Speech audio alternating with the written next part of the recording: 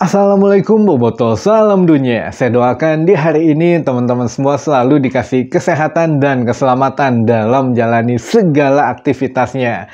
Amin. Baik Boboto, kumaha damang di hari ini mungkin beberapa teman-teman yang bekerja sudah mulai masuk lagi melakukan aktivitasnya seperti biasa. Tapi yang masih uh, diam di rumah buat teman-teman anak sekolah mungkin yang masih libur. Jadi masih bisa nonton di uh, pagi ini gitu ya di jam-jam ya memang jam-jam males lah jam segini gitu ya. Tapi ya langsung aja lah kita bahas informasi Persib Bandung terbaru update-nya teman-teman. Jadi kalau sebagian bobotoh mungkin masih ada yang familiar dengan nama Nenat Bacina atau yang masih belum tahu, oke okay, kita jelaskan sedikit.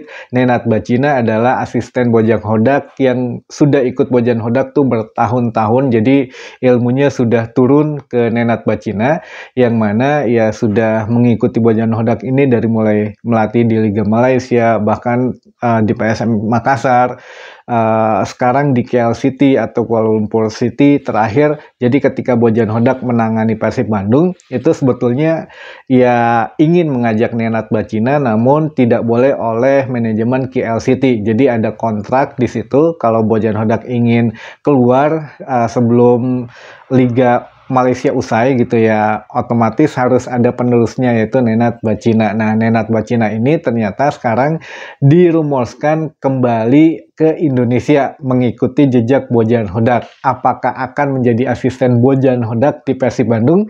Jadi ya kalau keuntungan merekrut Nenat Bacina ya Bojan Hodak menemukan tandem sejatinya lagi gitu ya untuk meningkatkan um, apa performa Persib Bandung juga. Jadi ya kalau nambah pemain kan udah nggak bisa karena sudah ditutup bursa transfer. Jadi uh, opsinya menambah asisten pelatih.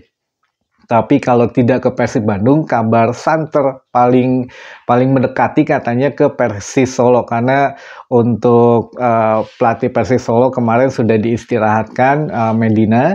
Jadi ya diganti oleh Nenat Bacina katanya begitu ya. Jadi Nenat Bacina ini akan diplot menjadi kepala pelatih kepala Persis Solo yang mana 4 Februari akan langsung menghadapi Persib Bandung. Nah ini menarik ditunggu nih antara asisten dan pelatih kepala akan beradu taktik gitu ya. Tapi apakah memang memang benar atau tidak katanya pelatih calon terkuatnya memang Nenat Bacina. Nah, ini yang akan melatih Persis Solo. Tapi ya tidak menutup kemungkinan juga menjadi asisten pelatih Bojan Hodak ya. Intinya lah akan ke Indonesia gitu ya entah memang uh, secepatnya atau sebelum ya bulan Februari mungkin gitu teman-teman.